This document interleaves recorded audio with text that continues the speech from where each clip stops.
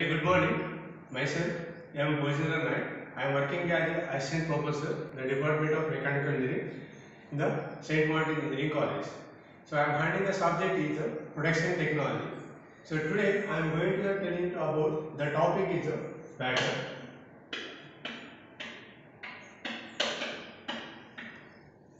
So pattern is nothing but it is a one of the replica of the material, replica of the product. So whatever we are going to produce the final object. So that product we are prepared by the the uh, replica of the output model. So that is the term which is called as a pattern. So coming to the pattern, there are different types of the pattern. The first pattern it is called as a solid piece pattern or single piece pattern. So solid piece pattern is nothing, but it is one of the simple and basic model of the pattern. Whatever the simple object, so that is without joints, without any making of that any joints. So that product, that object, it is called as a solid piece pattern or single piece pattern. And second type of the pattern, that is called as a split pattern. So coming to the split pattern, so some of the patterns it is very difficult to withdraw from the molding itself. So that kind of the object we are going to split up into the two pieces. So that is split up into two pattern, two materials. So that pattern is called as a split pattern. So next another type of the pattern, the third one is called as a cope and drag pattern. So coming to the cope and drag pattern, the patterns are made in the heavier object. So that object we are keeping as a boxes like in the cope and drag pattern. So that's why that pattern is called as a cope and drag pattern. Next coming to the next another type of the pattern, this called as a match plate pattern. So objects it should be the having this very very small pieces object. So that object is a very difficult place in the cope and the drag pattern, drag molding boxes.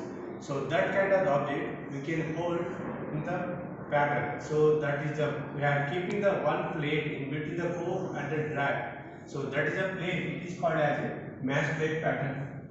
So that means here any complicated object, very very small precise object, it can hold the, that kind of very small object. It should be attached with the plate. So that plate is called as a here match plate pattern. And next another type of the pattern is called as a gated pattern. So coming to the gated pattern, whenever the flow flowing the molten metal from the sprue, sprue base into the mold cavity, that small pieces like a small object it should be directly attached to the either runner base or either to the riser base so that object it should be kept in the side by the either runner or either riser so that pattern is called as a gated pattern. And next coming to another pattern. It is called as a sweep pattern. So coming to the sweep pattern we are making the object should be like a symmetrical object. So we have to go for uh, increase the life of the product or either reduce the time of the object. So they, we are going to prepare that pattern like a mirror image, it's a symmetrical object. So that is the pattern coming under light pattern is the sweep pattern. And next another pattern is called as a loose piece pattern. So coming to the loose piece pattern here, some objects like a uh, component, it should be the very difficult to remove from the object. That means here that complex the complexity of the pattern while removing from the molding sand, it should be disturb entire molding sand. So we can't able to get the entire uh, our replica of the output model. So there we are attaching at the small pieces like a loose pieces. So that is the pattern is called as a loose piece pattern. So coming to next another pattern that is called as a skeleton pattern. So skeleton pattern is nothing but here any object it having the some hollow shape material. Sometimes you can use as a core material. So here we are using the without using the any kind of the core, we can prepare the like a hollow material. So we are some special kind of the shell in the skeleton pattern. And the shell pattern. So coming to the shell pattern, like a have the best example, the application point of that the drainage pipes are having the cylindrical shape. So that kind of the patterns that is called as a shell pattern. We will discuss one by one. So first pattern is called as solid pattern or single piece pattern. So the name itself solid or single. Single is nothing but the object should be there without having any joints. So that should be kept either in the drag box or either in the cope box. So the very simplicity of the object. So that is the pattern. It is called as a solid piece pattern or single piece pattern. So it is visible only in the few casting. It is possible only for the some kind of the castings only. If the product should be the having any kind of the complexity of the product. So at that time we have to go for the prepare the next kind of the pattern. That is called as a split pattern.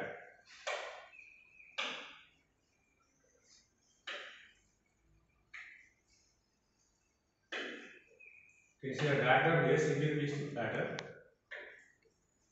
So here this is an example, this is one of the small example for the solid piece pattern.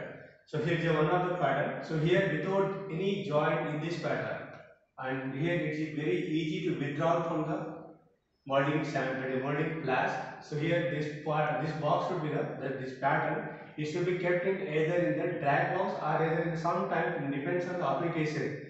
We can directly pour the molten metal into the cavity. So at that time we no need to use the cope boxes. So that object is called as a single piece pattern. And next another type of the pattern it is called as a split pattern.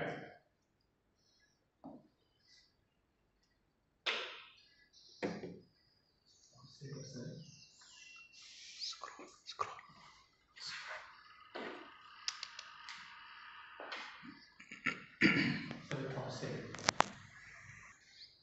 the next pattern is called as a split pattern.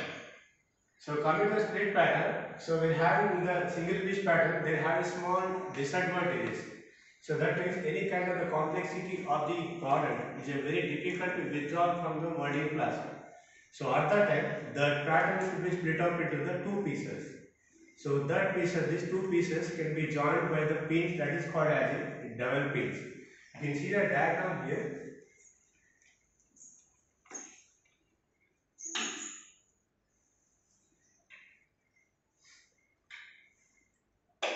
You see the coming to the diagram here. So these are the two pieces. These two pieces can split up into the two parts. So these two pieces can be joined by the pins. That pin is called as a dowel pin. You can see the diagram here. So this is the called as a dowel pin here. So that means here these two pieces can be split out into two pin, the two parts, joined by two pins, and this the line is called as a here. The line is called as 45. So the half part of this this half part of the pattern it should be kept in the cope box and remaining half part of the pattern it should be kept in the drag box. So sometimes it is very difficult in case of the single piece pattern. So we are going to prefer in the model application, practical application point of view. The single piece patterns are not suitable for the all applications. So next another kind of the pattern it is called as a cope and drag pattern. So object should be the heavier object. The pattern it should be the, like similar to the same split pattern. So in this one, the main difference between the cope and drag pattern and the split piece pattern, the object that means the product size should be the heavier compared to the split piece pattern. So that product it should be directly kept on that cope and drag boxes. So the same that pattern is called as here the cope and drag pattern. You can see the diagram here. So this part it should be kept in the either the cope box or either it should be in the drag box. So this part directly attached into the cope box and this part directly attached into the drag box. So after that we can add the some kind of the special stamps here. So then we have to pour the molten metal into the mold cavity. So here what will happen? This entire part it should be the directly attaching on the cope box. So that's what is called as a cope pattern and this pattern is called as a drag pattern. Next another type of the pattern, it is called as match plate pattern. So match plate pattern coming in under the match plate pattern, small object like a small curved curved portion of this object, like any kind of the chain links or the small pieces. So this kind of the part, it should be very difficult to place on the either in the cope box or in the, either in the drag box. So at that time, this part you can attach into the one type of the plate. So that is the plate is called as it is the match plate pattern. This match plate it should be kept in between the cope and drag. So here a number of split pattern that means here we can add any number of the same the small kind of components. We can add the number of components on the same pattern that is called as a match plate pattern.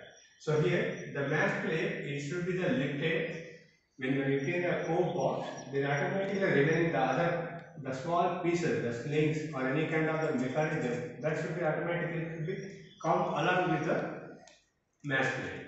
So I will show a small figure, the match plate pattern. We can see the diagram here. So this kind of the top layer, it should be the, the curved portion. So it's, a, very difficult to place on the either in the cope or drag boxes. So here what I am doing, these kind of the pieces I am directly attaching in the this kind of the match plate. So this match plate is directly in between the cope and drag box. So this part is the cope box and the bottom box is called as a drag box. So that is a that's what is called as match plate pattern. On the match plate pattern, we can attach n number of pieces on the plate. So that kind of the pattern is called as a match plate pattern. And next another type of the plate. Under next another type of the pattern. This is called as a gated pattern. So coming to the gated pattern, like in the the mass production or continuous production, the small kind of the links, it should be directly attaching into the runner base. So when you are flowing the molten metal to the to the mold cavity, so between the mold cavity and the sprue, we have the runner. So side way of the runner, we are directly attaching on the small kind of pieces. So it is suitable for the mass production or other continuous production. So in this one, that uh, kind of that uh, uh, material, that uh, small object, it should be directly attached into the either in the gate or either in the runner or either in the rising channel. That means into the riser part. So here, when the molten metal is poured in the place, it should be distributing the along to the their respective direction of the pattern. You can see that here diagram. So when you are flowing the molten metal into this channel, so the molten metal also should distribute into the this kind of the pattern. So it should be at a time you can produce a number of castings in the this kind of the object. So that's what is called as a gated pattern. Next another type of the pattern, it is called as a sweep pattern. So a pattern is having a symmetrical object. So at that time we can't able to go for the produce the entire object. So we can produce only the half part of the pieces. So sweep pattern is nothing but the name itself gives the sweep piece. We can rotate the pattern along to the respective direction. It should be the rotated along to the about the handling of the either vertical direction or either in the horizontal direction. So it depends on the, the pattern. I show a diagram here. So we can produce this is our final object, the final product. So here I am going to discuss, I am going to here produce only this half part only. So after preparing this part, I can attach this entire part into one spindle. So this part is called as a spindle. So this spindle, it can should rotate along to the, the respective vertical axis. Then same object, it should be repeating on the this side. So that kind of the pattern, it is called as a sweep pattern. And next another pattern, it is called as a loose piece pattern. So loose piece pattern, some of the objects like the heavier object, complexity of the product, it's a very difficult to withdraw from the molding side. So at that time, that uh, pattern it should be split up into the small small pieces, the loose pieces. So that's what is called as loose piece pattern. So here, such projection, that means we are adding the, we are split up into the small small projection, small pieces. So that's what is called as a loose piece pattern. I'll show you a small example here.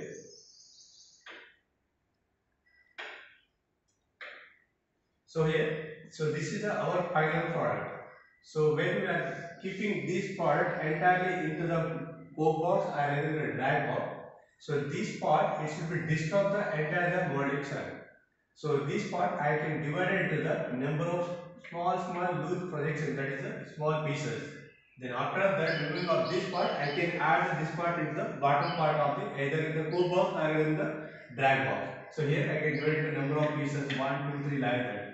So these are small loose pieces. So that's what this kind of a pattern is called as a loose piece pattern. And is another type of a pattern. It is called as a cell pattern, skeletal pattern. So coming to the skeletal pattern. So the pattern having any kind of that hollow shape. So at that time you can use some different kind of the shard here. That is either the loam shard or either in the special kind of the clay we can use this kind of the special kind of the cell, we can produce a hollow type of the material. The last another kind of this pattern is called as a shell pattern. So shell pattern is the best example for the for producing the pipes or even drainage fittings is having some hollow part. So that hollow part same similar to the skeleton pattern, we can use the some special kind of the sand we can produce like a hollow kind of the pattern. It's a small diagram. It's like a small kind of fitting like a pipe, any kind of application You can produce a, this kind of pattern. So these are different types of the pattern. I hope you can understand all the different types of the pattern.